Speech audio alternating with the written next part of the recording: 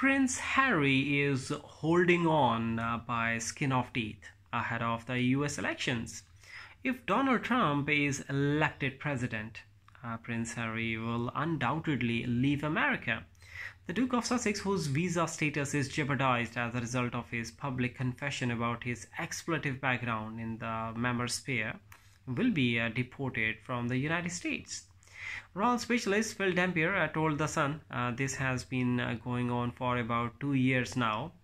The Heritage Foundation, think tank in Washington, has really gotten uh, their teeth into this.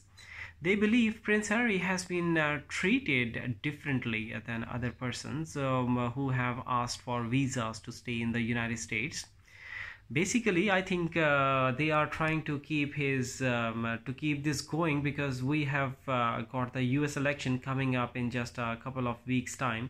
And of course uh, if donald trump uh, gets back in that uh, could be um, bad news for harry and meghan because he is very much anti them it's widely known that they dislike him and he dislikes them as well um, I believe uh, Harry has been uh, well protected by the Biden administration um, up until now.